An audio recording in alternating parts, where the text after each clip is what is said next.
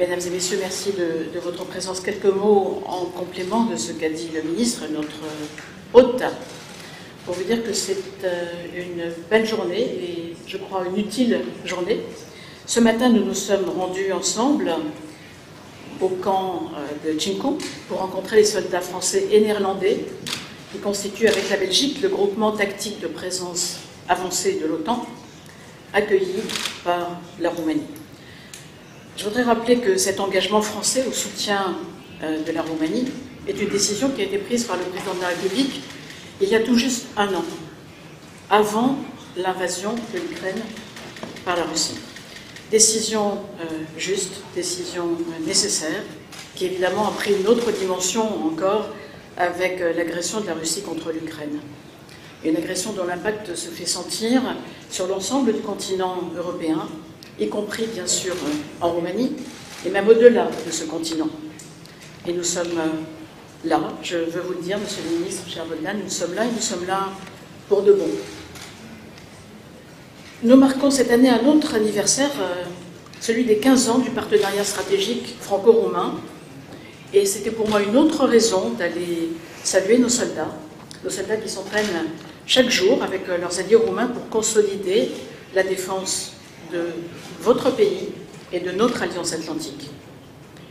Et puis cet après-midi, nous avons eu des échanges euh, nourris euh, à deux, à trois, sur les principaux enjeux auxquels fait face notre continent européen et auxquels nous sommes déterminés à faire face ensemble. Lors de nos entretiens, nous avons réaffirmé la détermination de nos trois pays à poursuivre, et je devrais dire même à poursuivre et à intensifier leur soutien à l'Ukraine, l'Ukraine qui fait face à la brutale agression de la Russie.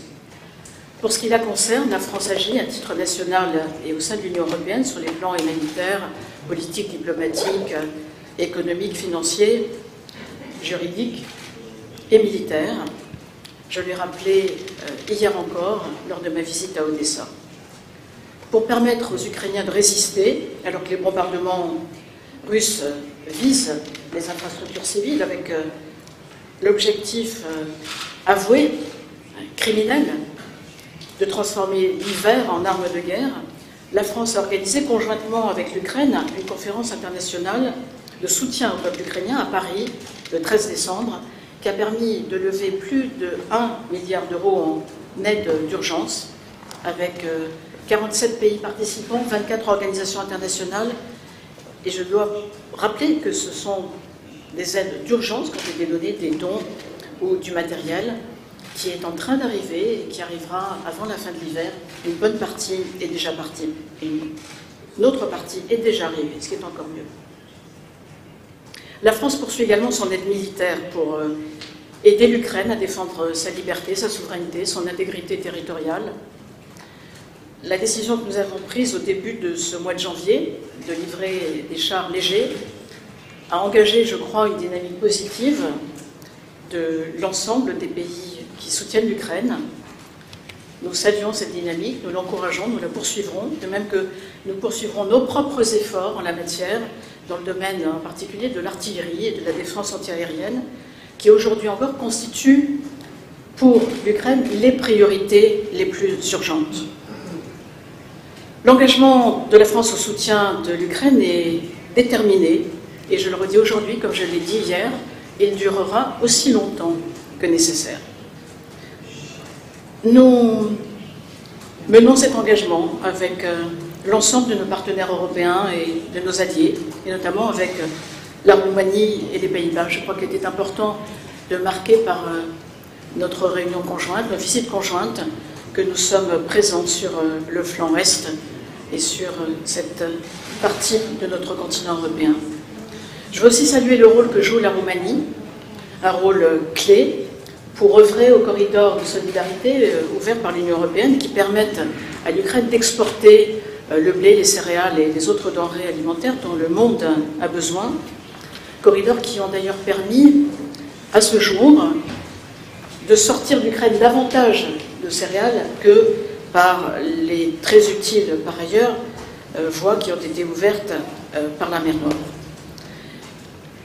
Et tout à l'heure, pour poursuivre cette bonne journée, je serai heureuse d'inaugurer le hub créé par euh, RFI en Roumanie, pour accueillir ici, en Roumanie, à Bucarest, des journalistes ukrainiens et contribuer ainsi à une information libre, indépendante et intègre.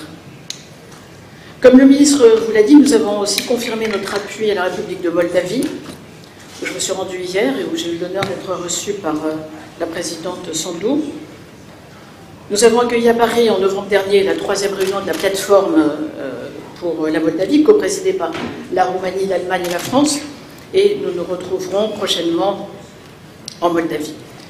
La France est déterminée à poursuivre sa mobilisation pour aider la, Moldavie à faire face aux déstabilisations causées par la guerre en Ukraine et j'ai été heureuse hier de pouvoir constater qu'elle euh, y fait face avec succès, malgré les difficultés.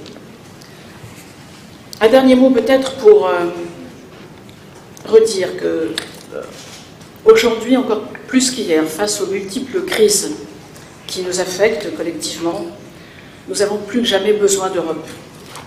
J'ai rappelé à Bogdan Orescu le soutien de la France, euh, en effet, à l'adhésion de la Roumanie à l'espace Schengen. Nous avons besoin d'unité, et c'est un des moyens de cette unité. C'est important pour la Roumanie, il vous l'a dit, mais c'est aussi important pour la France, parce que ça permet de mieux assurer le, contrôle de nos frontières extérieures. Et je voyais d'ailleurs hier, ayant dû m'arrêter sur la route entre Kisina et Odessa, en raison d'un événement inattendu, je voyais une équipe euh, de Frontex, avec euh, en très grande majorité des personnels roumains. Merci de cela. Nous avons constaté, vous le savez bien, des, de derniers blocages qui n'ont pas permis d'avancer définitivement, mais euh, ils ne nous doivent rien, je dois le préciser, et au contraire, nous œuvrons ensemble pour trouver une solution. Je suis convaincue que la déclaration conjointe que nous avons signée aujourd'hui, la déclaration trilatérale, y aidera. Un dernier mot, parce que vous avez rappelé, Monsieur le ministre, cher Bogdan, l'importance et la signification euh, de cette journée, en souvenir euh, d'événements euh, tragiques qui ont failli détruire l'humain en nous. Et je voudrais, comme l'a dit le ministre, dire notre attachement à ce que nous n'oublions jamais, pour qu'en n'oublions pas, ceci ne puisse pas recommencer, mais je voudrais dire aussi, ayant lu quelques déclarations en provenance de Moscou, combien elles sont consternantes, choquantes. Une provocation indigne, un jour comme aujourd'hui. Je vous remercie.